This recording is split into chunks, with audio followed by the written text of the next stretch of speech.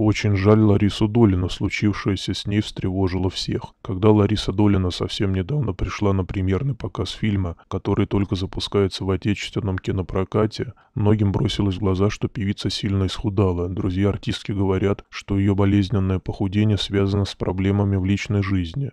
Пишут СМИ. Народная артистка России Лариса Долина удивила преданных фанатам своим внешним видом. Певица очень сильно похудела. Например, в фильма «Алита. Боевой ангел» певица пришла в черном костюме, который подчеркнул ее стройность и похудевшие ноги. Долина долгое время известна как большая любительница самых разных диет. Однако не так давно она заявила, что завязала с ними. После этого артистка сильно поправилась, что породило слухи о ее расставании с гражданским мужем Ильей Спицыным. Отметим, что на светское мероприятие Долина заявилась без супруга.